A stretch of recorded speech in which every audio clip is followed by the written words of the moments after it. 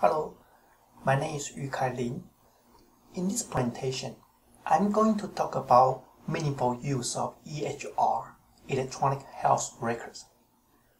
This is a joint work with Mingfeng Lin and Hsinchun Chen at the University of Arizona.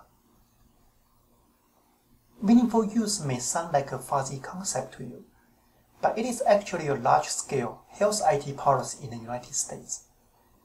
To implement this policy, there are specific objectives and measures to define and quantify meaningful use. For hospitals that demonstrate meaningful use before 2015, they can get incentive payments from the Centers for Medicare and Medicaid Services. But if the hospitals fail to achieve a MU, there will be financial penalties as well.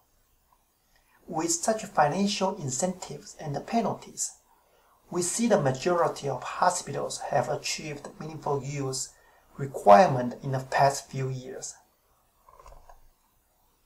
But meaningful use is not an end in itself. What matters is whether MU improve quality of care.